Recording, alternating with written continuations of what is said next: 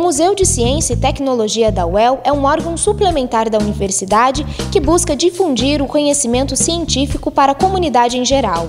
O museu foi inaugurado em 2005 e já atendeu escolas de 130 municípios com demonstrações de experimentos de física, química e observações de astronomia.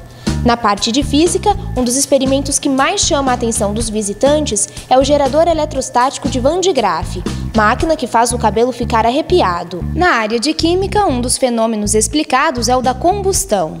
Dependendo das condições meteorológicas, também é possível fazer um agendamento para observações de astronomia.